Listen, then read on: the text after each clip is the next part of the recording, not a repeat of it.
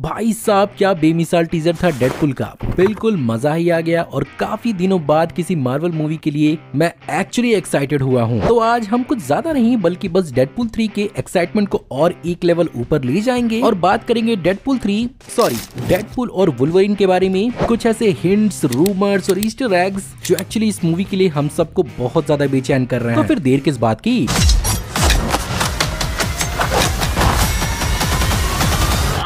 Hey guys मेरा नाम है पंकज सागर और आपका स्वागत है गेमो को हिंदी की एक और फ्रेश वीडियो में। Now without wasting more time let's get started सबसे पहले अगर बात की जाए ट्रेलर्स की तो मुझे एक बात तो यहाँ पर साफ़ साफ़ क्लियर हो गई। ये मूवी एक्चुअली पूरी तरह से मार्वल फैंस के लिए ही बना है। वो फैंस जिन्होंने मार्वल की चारों ओर की मूवीज़ और टीवी शोज़ देखी हैं, जो मार्वल फैंस के लिए तो बहुत अच्छा है, लेकिन शायद कैजुअल फैंस के लिए उतना नहीं। बट हम सब जानते हैं कि हम में से बहुत सारे लोग इतना तो जानते ही होंगे कि इस मूवी के अंदर क्या होने वाला है। ट्रेलर की शुरुआत में यहाँ पर डेडपुल के बर्थडे को दिखाया जाता है, जहाँ पर फ़िलहाल डेडपुल और वेनेसा के बीच में फासले बढ़ गए हैं, जिसे ऑफ़ कोर्स और ज़्यादा एक्सप्लेन किया जाएगा मूवी के अंदर। लेकिन खास बात इस सीन के अंदर ये भी है कि यहाँ पर हमें कई सारे पुराने कैरेक्टर्स देखने को मिलना है, जिसमें से ऑफ़ कोर्स बहुत सारे कैरेक्टर्स का सेंस बनता है इंक्लूडिंग पीटर जिसे डेडपुल टू के लास्ट में डेडपुल ने अपने टाइम मशीन का इस्तेमाल करके उसे बचाया था। बट यहाँ पर शेटर स्टार कैसे ज़िंदा है? क्योंकि उसका भी खेल मूवी के बीच में ही खत्म हो चुका था। एनी हाउ ये बात तो क्लियर है कि यहाँ पर बहुत बड़ा टाइम ट्रेवल का झोल डेडपुल ने किया है, शायद केबल की उस टाइम ट्रेवल डिवाइस के साथ। और यही कारण है टीवीए का उसका रडार पे लेने का। लेकिन सबसे बड़ा सवाल ये उठता है की टीवीए ने उसे पकड़ने में इतना वक्त क्यूँ लगाया? खैर, मैं इस बात को एक्सपेक्ट कर रहा हूँ यहाँ पर हमें एक बहुत ही फनी सा रिएक्शन और इस चीज़ का एक एक्सप्लेनेशन डेडपुल अपनी तरफ़ ऐसी ज़रूर देगा। आगे जाकर हमें सीन देखने को मिलता है जहाँ पर टीवी के एजेंट्स डेडपुल को ज़बरदस्ती अपने साथ टीवी के हेडक्वार्टर्स ले जाते हैं। एंड डेफिनेटली ये टीवी थोड़ा देखने में अलग है क्योंकि हो सकता है कि भविष्य का टीवी हो, क्योंकि यहाँ पर actor Matthew Macfadyen actually paradox का रोल निभा रहे हैं। जो बेसिकली कॉमिक बुक के अंदर मोबीएक्स का एक अपग्रेडेड वर्जन होता है। बट हो सकता है कि मार्वल सिनेमैटिक यूनिवर्स के अंदर ये दोनों कैरेक्टर्स और पर्सनालिटीज डिफरेंट हों। और लोकी सीज़न टू के बाद शायद मोबियस की रियल लाइफ डेस्टनी एक्चुअली में चेंज हो गई हो और उसने एक्चुअली टीवीए को छोड़ दिया हो। एनी हाउ यहाँ पर हमें डेडपुल अपने आप को क्लेम करता हुआ नज़र आ रहा है।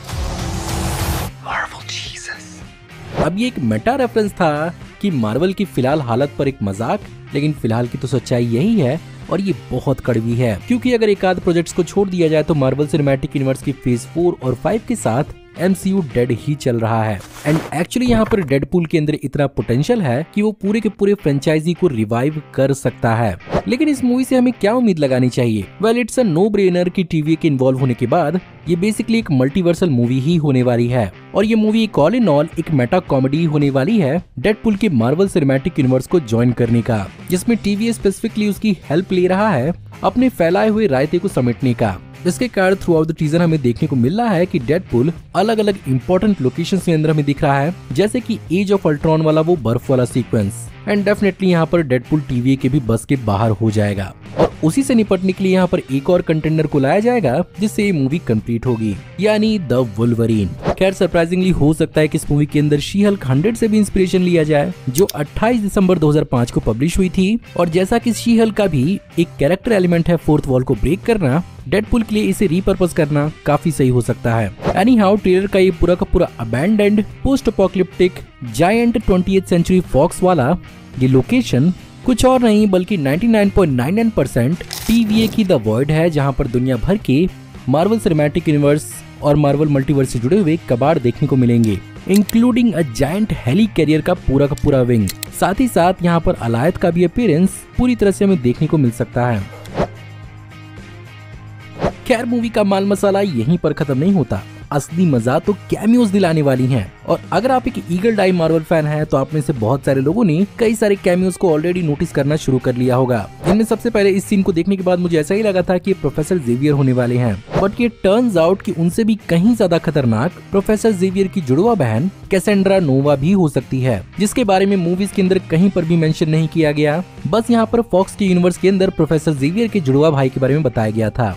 तो ये मोस्ट प्रॉब्ली किसी और अल्टरनेट रियलिटी की कैरेक्टर हो सकती है। और इस पर्टिकुलर कैरेक्टर को प्ले करने के लिए मोस्ट प्रॉब्ली यहाँ पर एक्ट्रेस एमा कॉरिन को ही चुना गया है। साथ ही साथ हमें यहाँ पर हिंट सेवेज लैंड का भी मिल रहा है, जो वैसे तो मार्वल की कॉमिक बुक रियलिटी के अंदर अंटार्कटिका में एक लोकेशन है but Doctor Strange in the multiverse of madness के अंदर शायद इस बात का हिंट दिया गया था कि एक मल्टीवर्सल रियलिटी है। एंड जैसा कि डेडपुल अलग अलग मल्टीवर्सेस को हॉप कर रहा है, क्या पता वो ऐसे ही किसी सैवेज लैंड की रियलिटी में चला है इसके साथ साथ हमें यहाँ पर वुलवरिन के आइकॉनिक व्हाइट टक्सीडो वाला वो लुक देखने को मिलता है, जिसमें वो कुछ समय के लिए आई पैच पहनता है। जहाँ पर वो बेसिकली इसकी मदद से अपने आप को डिस्गाइज करता है मार्वल के मद्रीपुर लोकेशन के अंदर। और पॉसिबली यहाँ पर हमें इसी का रेफरेंस इस मूवी के अंदर देखने को मिल सकता है। आगे हमें देखने को मिलता है डेडपुल का एक नया updated suit with his new and iconic belt buckle जो डेडपुल को बहुत पहले अडॉप्ट कर लेना चाहिए था।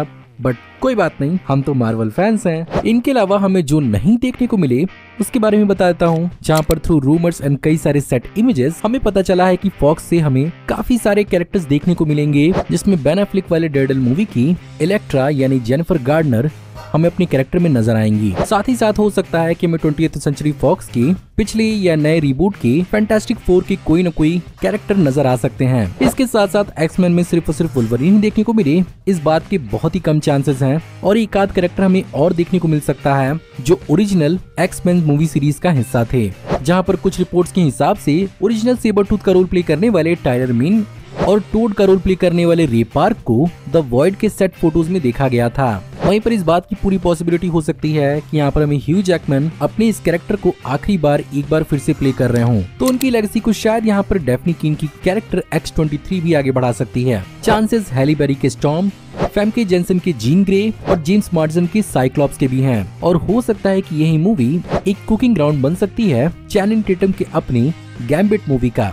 जो बहुत लंबे समय से अटकी हुई है। एंड डेफिनेटली कहीं ना कहीं इसका भी मज़ाक उड़ाया जाएगा। इन सब के अलावा जब बात रियलिटी से डील करने की हो रही है तो कुछ ही पलों के लिए ही सही, लेकिन हमें यहाँ पर लोकी का कैमियो भी माँगता है। क्योंकि बात जब रियलिटी से जुड़ी हो तो ये चीज़ थोड़ी सीरियस हो जाती है। और बात जब हम अल्टरनेट रियलिटी को एक्सप्लोर करने की कर रहे हैं तो हमें डेडपुल का एक भी अल्टरनेट वर्जन देखने को नहीं मिलेगा। ये बात कहीं से भी मुझे हजम नहीं हो रही। तो एक आध आधा टेढ़ा वर्जन ऑफ़ डेडपुल इस मूवी के अंदर तो पक्का ही होना चाहिए।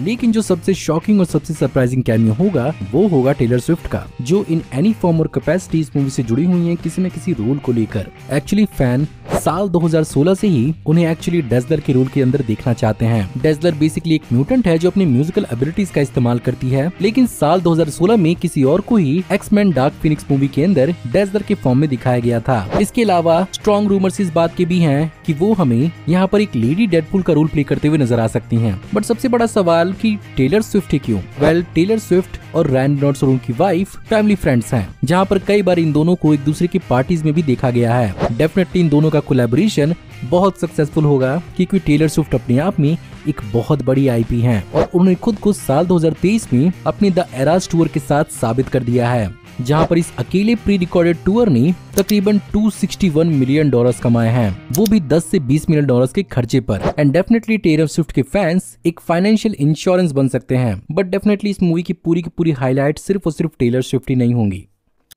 सो so गाइज़ उम्मीद करता हूँ कि आपको आज की वीडियो पसंद ज़रूर आई होगी। और अगर आपको आज की वीडियो पसंद आई तो प्लीज़ वीडियो को लाइक ज़रूर करिएगा।